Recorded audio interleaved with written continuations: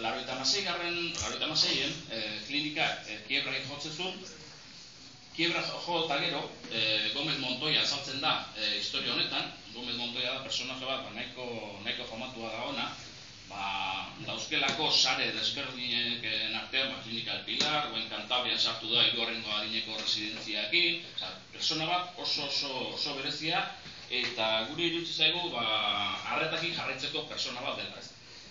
E, kiebraren ondoren egiten da, e, nolabet, kita bat eitzen dana, nolabet adosten da, ba, zorra hori nola banatuko da, eta nola geratuko da, eta zorro gehientsuena zegoen e, nolabait, e, garraia eta mintzat, normalaren nahi zatezan azan, ba, olako enpresak pikutara potentzienen, ba, zorrak izarte segurentzakin, e, ogasunarekin, eta kasu honetan ere, egiten da, e, ogasarekin, ba, nolabeteko zorra.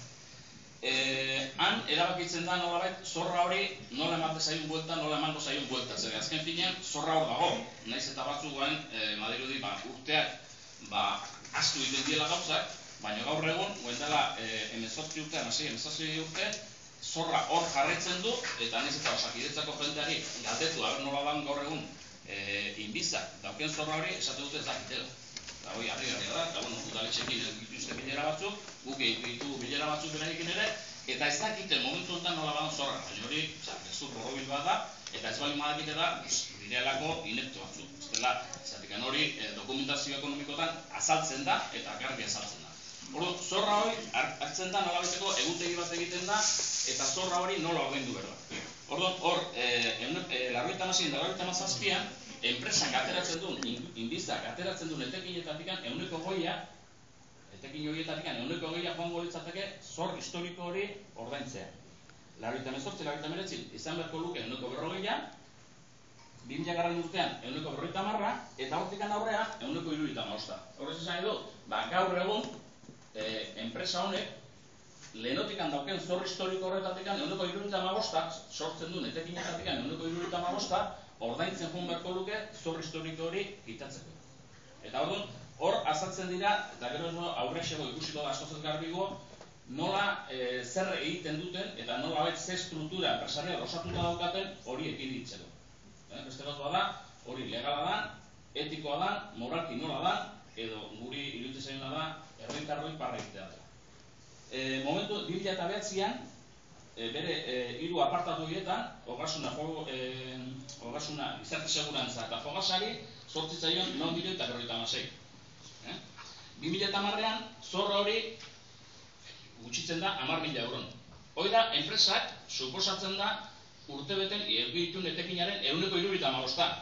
Horren guk esaten dugu, jode, enpresa pribatu bat, dirua egiteko dagoen enpresa bat, horlako etekinak ateratzen maliun du, zerbait gaizki ditua hor ez da normal horreko horreko gauzat izatea, eta hor aurketzen gena da, e, horrela ezkio momentu honetan, lau milioi, berroita zei milioi euro zortza ezkio e, iru erakunde hauei, eta guk esaten duguna da, proporzio horretan jarraituko balukete ordaintzen, ba, hemen dikan berreun da piko urtea, hemen zorra horrekiko genuke.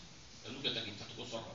Horren guk, alde ikusten duguna da, eta jende gulertzeko, zein dan, e, nolabait, enpresa honek dauken estruktura. Hor, hau da, enpresaren montajea. Hau da.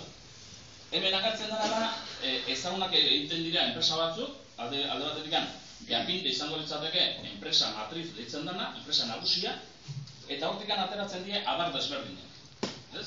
Eta hor azaltzen da inbiza, azaltzen da jeusa, azaltzen da asistentzia medika tolosa, eta azkeneko berrikuntza bezala da, eta ikusten dugu, nun baitetik diruak ateratzen direla, ba, aurten, 2008an aurten, iaz, 2008an osatzen da enpresa berri bat. Eta da, historia zitestien hospitaleria ez zen.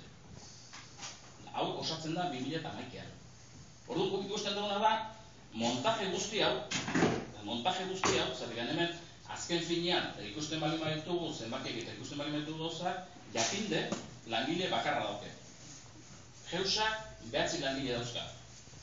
Ibiza, bera, bere gizarte segurantzako zenbakia, azaltzen dira e, berren da eta bat langile. Asistentzia togosa, amairu langile. Eta bestean, ba, guantikan, ez dugu garakatu beste jakiteko zenbat langile daude. Orduan, guk ikusten duguna da, montaje guzti hau, funtzio bat daukela.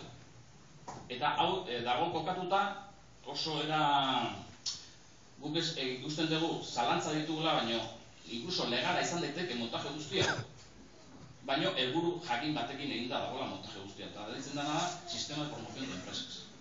Orduan, beraien artean, dakarte alako trekimailu batzuk antolatuta, hau beste batzuri tokatuko zaio aztertzea, aber hau legala dan, ilegala dan, edo gutxinez etikoa dan, zaino, garbi ikusten duguna dago, montaje horren inguruan, desagertzen direla, enpresa honek eta behar zituen etekina.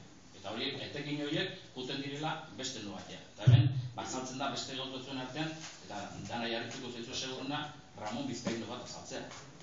Ramon Bizkaino, Montoya jauna, portuazionista da. Eh? Orduan, daude gauz eh, oso oso oso oso bitxiek. Eh? Oso bitxiek. Orduan, hau, bakarra mate tukatu beharko zaio, o tokatuko zaio, aztertzea, jakin badakigu aztertzen ari dela, eta sakon aztertzen ari gainea, baina guri irutzi zaigu, hau, e, nola bai, herritarroi, tolosaldeko herritarroi, iruzur egitea dela, eta guk alde horretatik e, ikusten duguna da, horregatik aurrego ingo duen plantamentua, bide horretatik dikoa. Gutzako, ez daka, inungo onurari, olako enpresa bat, gure osasunaekin berme izan beharko duken enpresa bat, ba, ez dugu inungo bermerik ematen, eta gainetik, pues, bueno, ba, horra ateratzen dienetekina, auskalo, nun bukatzen dira.